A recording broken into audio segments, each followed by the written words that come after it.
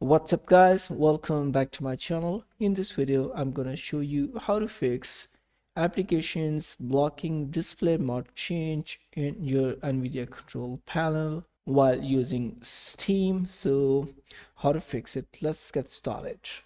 First of all close your application uh, steam or any other application you are using and right click on your windows uh, uh, desktop if you have windows 11 then go to show more option or go to nvidia control panel and we need some settings uh, go to manage 3d settings here you can see uh, this one manage 3d settings and over here you need to select NVIDIA GPU only here. After selecting, click on apply. If you're still facing the issue, then I have solution number two.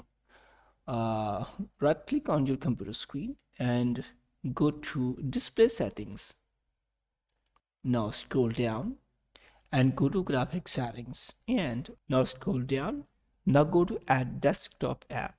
Click here and go to steam shortcut icon so my steam application is here desktop and right click on it and open file location and select steam add scroll down and search for steam application already selected so this is my steam click here and let windows decide it and select high performance and okay close it it's done. I hope this tutorial helps you and please subscribe the channel. Thanks for watching.